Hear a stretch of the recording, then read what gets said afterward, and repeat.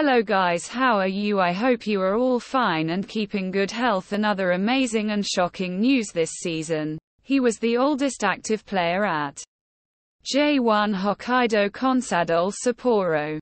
The genius, who thrilled the stadium with his delicate touch on the ball, had finally reached his limit with his legs.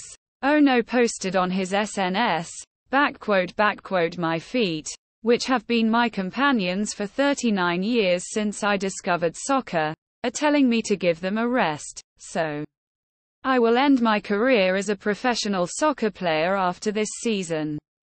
I have decided to do so. Backquote backquote there are still a few games left in the season. But I will continue to prepare as well as possible so that I can be involved in the games as much as possible. I hope you will support me. Until the end. Another amazing and shocking news